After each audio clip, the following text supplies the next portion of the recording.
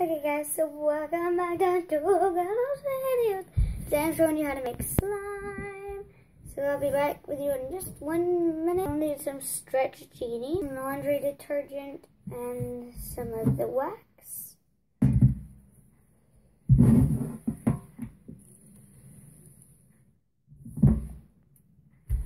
And some laundry detergent.